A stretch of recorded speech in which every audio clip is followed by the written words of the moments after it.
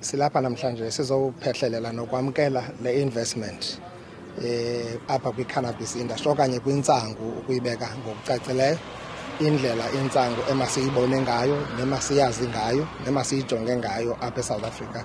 Siyayazi uba silizwe eligutyungelwe ngamakholwa eh amakholwa eh, obuKrestu.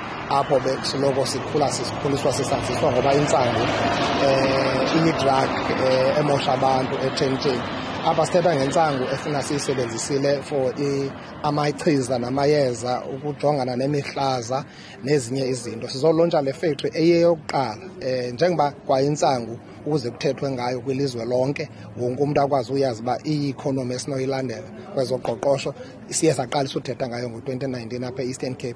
Ndiyavuya ke uba nefactory engaka ibe kanti iyaqalisa ukwenziwa apha. Ezi investors zilapha zisuka kumazwe ngamazwe kodwa eyona nto ifike ibe mnandi kakhulu kum into yoba eyona nkampani eyinveste kakhulu eyi-majority shareholder apha okanye enezabelo ezikhulu yinkampani yabasebenzi. Um eh, inihawu eh, eh holdings. Eh so loo nto ibonakalisa into yokuba abasebenzi imali zabo zizawufakwa kwiindawo ezifanelekileyo zihambe ziyophucula ubomi babantu nabazali babo kwiindawo abahleli kuzo. So siyavuya kakhulu.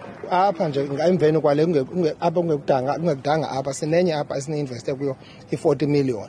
Eh sijongene apho nezinto ze-prototype ukwenza eh, i-research ye-hemp nokuimprove i-hemp nokuprocess izinto ikwalapha nayo. So siyazidibanisa zonke. Lena iyaqala ngoku i-hundred million.